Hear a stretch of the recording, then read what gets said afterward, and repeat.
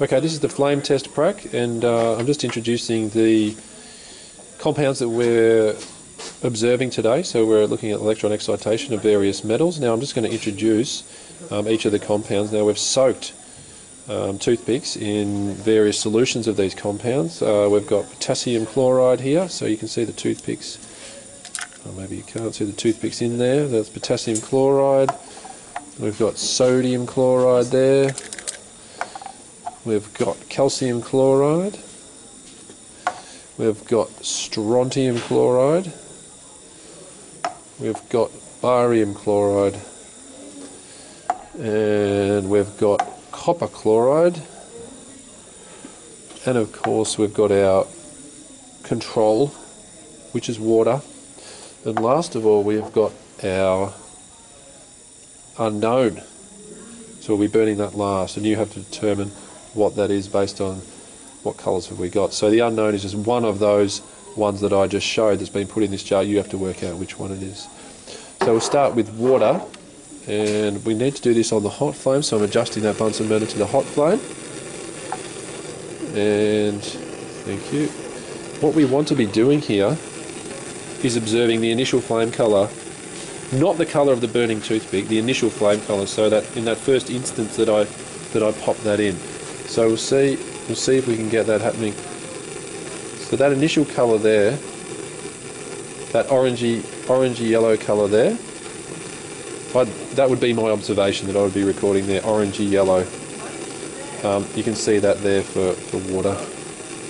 We do not want to see that colour um, of the toothpick on fire. Now I'll set the toothpick on fire just to show you that the colour that we do not want to observe.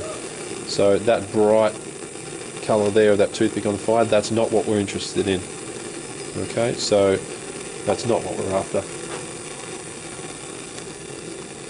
So for water, my observation would be orangey yellow colour. Uh, next one we're doing is copper chloride.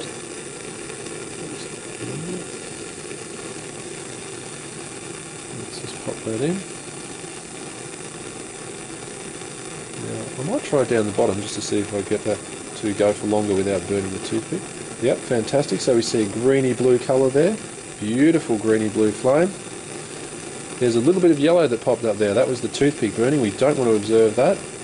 Beautiful greeny blue flame. Those specks of yellow are actually the wood burning.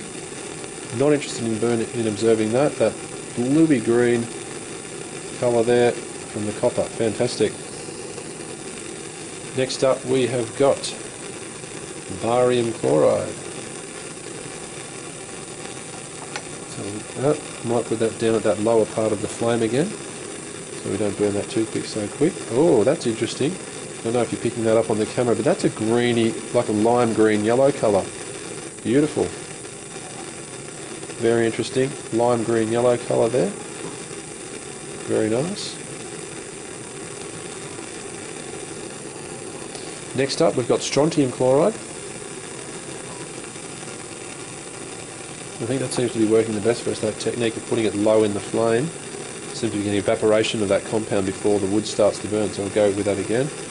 Interesting. Oh, that violet, deep red violet colour, fantastic. Deep red violet, beautiful. Almost a deep orange, deep red violet. Very nice. That was strontium chloride. I hope you're seeing these colours on the camera. Next we've got calcium chloride.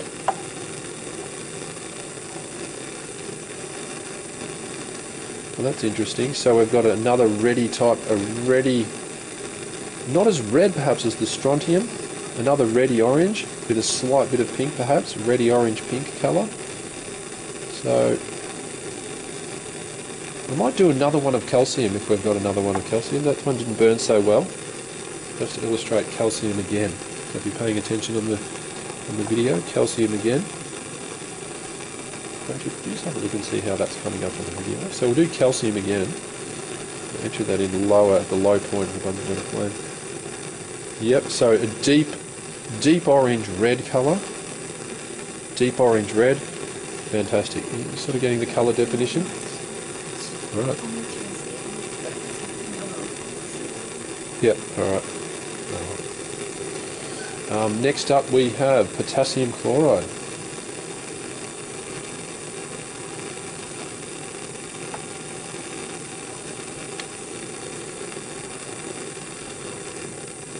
Oh, and that is a light pink, light pink violet colour.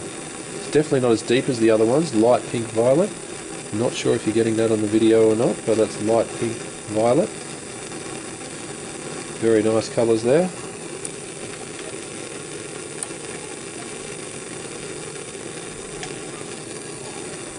And last of all, before the unknown, we've got sodium chloride.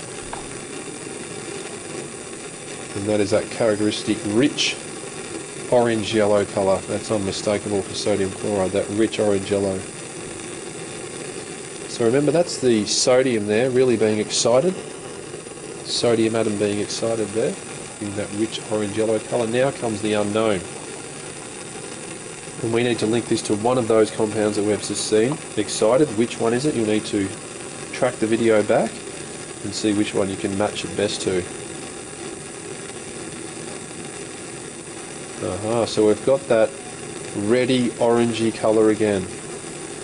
Not deep, deep red, but a red orangey colour with some hues of pink popping up there. So you need to match that in.